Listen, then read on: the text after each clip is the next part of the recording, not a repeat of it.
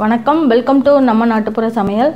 நான் உங்கள் லதா செல்வராஜ் பேசுகிறேன் நாம் இன்றைக்கி பார்க்க போகிற பதிவு எங்கள் ஊர் மாரியம்மனுக்கு பூச்சாட்டி கம்ப நட்டாங்க. அந்த வீடியோவை பார்க்கலாம். வாங்க போகலாம் வீடியோக்குள்ளே.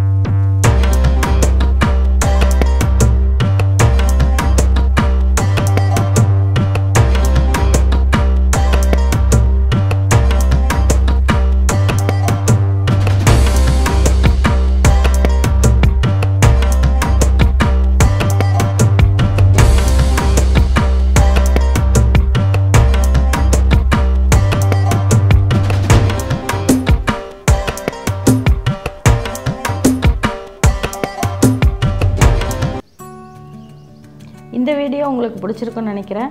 பிடிச்சிருந்தா லைக் பண்ணுங்கள் ஷேர் பண்ணுங்கள் நம்ம நாட்டுப்புற சமையல் சேனலை சப்ஸ்கிரைப் பண்ணுங்கள் தேங்க்யூ